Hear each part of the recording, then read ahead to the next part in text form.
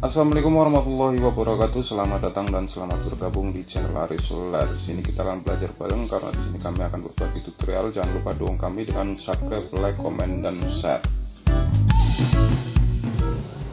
Nah, di sini saya mempunyai sebuah printer Epson dengan tipe L3210. Nah, jadi buat Anda yang mengalami saat Anda mau menyekan ya.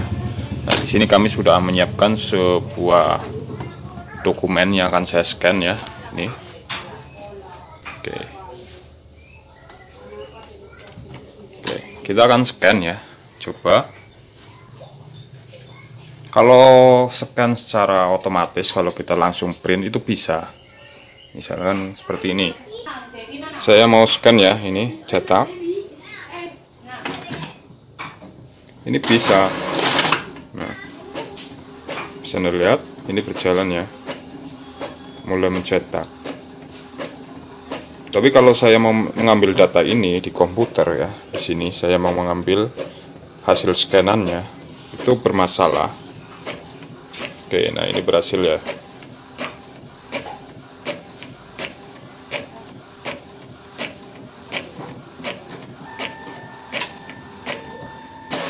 Oke. Nah jika anda mengalami masalah seperti ini Nah, seperti ini. Kita masuk start. Di sini kita masuk ke itu ya, set settingan scan ya. Application. Lalu kita masuk ke sini pada bagian Epson. Lalu Epson scan. Jadi kalau kita mau mengambil data scan-nya dari sini Epson scan. Tapi kalau kita buka seperti ini hasilnya. Nah, bisa Anda lihat ada error seperti ini. Epson scan, scan is Nah ini free sweat ya. Errornya E 1460 B305 Oke jadi mengalami error seperti ini bagaimana cara mengatasinya? Klik OK saja terlebih dahulu. Oke untuk mengatasi masalah seperti ini sangat mudah sekali ya. Kita cukup masuk start saja di sini. Klik kanan saja klik kanan untuk Windows 11 ya. Silakan untuk Windows 7 atau Windows 10 atau Windows 8 Anda klik kanan pada start lalu anda cari tulisan device manager ya. Atau anda masuk control panel lalu anda cari device manager ya. Di sini Windows 11 cukup klik kanan saja pada startnya lalu kita masuk ke device manager. Nah nanti akan terbuka seperti ini. Pada halaman ini di sini kita klik scan ya. Klik kanan pada universal ini ya universal serial bus control. Klik kanan pilih scan Nah, seperti ini. Selanjutnya kita masuk ke sini. Nah, ini. Images device. Klik kanan di sini. Klik kanan lagi pada bagian Epson L-nya di sini ya terbaca. Klik kanan, pilih update tripper. Lalu pilih rescan auto tripper. Oke. Nah, udah seperti ini saja langsung close saja. Lalu kita matikan untuk komputernya. Oke, di sini Anda klik start, kita restart ya. Jangan di shutdown, di restart saja. Pilih restart. Restart itu bukan menghilangkan data ya, itu restart itu cuma menghidupkan dan mematikan ulang sebuah komputer. Jadi banyak yang bertanya, Bang, restart apakah datanya nggak hilang? Nggak, itu cuma menghidupkan dan mematikan lagi sebuah komputer. Jadi nanti kalau sudah mati, nanti hidup lagi.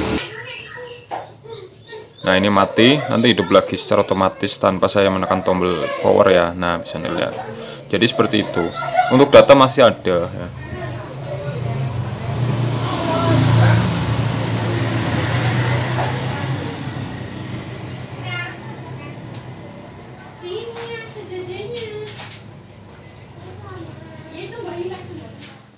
Oke, sekarang kita buka aplikasi scan-nya lagi coba. Kita masuk start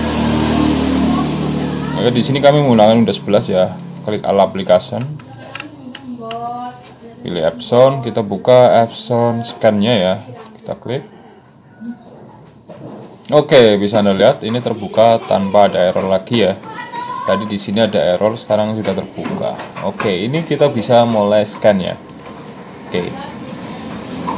Di sini kita mengatur resolusi, color, kalau kita mau pilih black, black, hasil scannya kalau di sini pilih color color di sini saya akan black saja ya warna hitam.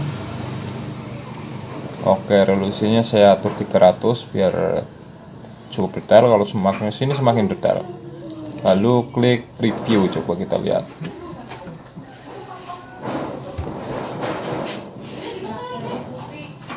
Nanti video selanjutnya saya akan memberi panduan yaitu tentang cara menyekan ukuran F4 kalau printer ini ya Epson L3210 itu hanya support untuk menyekan ukuran A4 saja. Tapi bagaimana cara menyekan F4 nanti saya akan berikan panduannya. Nah ini adalah hasilnya. Black seperti ini kalau color kita preview lagi. Oke, nah ini hasilnya kalau colornya. Oke, jadi seperti ini. Sekarang kita klik scan. Jadi ini kita sudah bisa menyekan ya.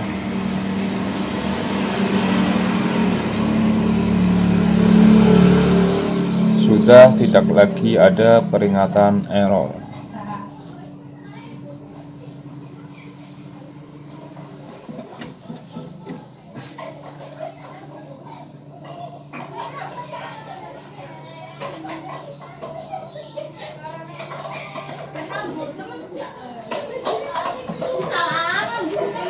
Oke. Ini kita bisa lihat hasilnya. Yang mana ini? Nah, yang ini ya. Nah, ini. Oke, jadi buat Anda yang mengalami skannya error, memperbaikinya seperti itu ya, sangat mudah sekali. Mungkin sampai di sini saja panduannya. Semoga bermanfaat. Wabillahi taufiq Wassalamualaikum warahmatullahi wabarakatuh.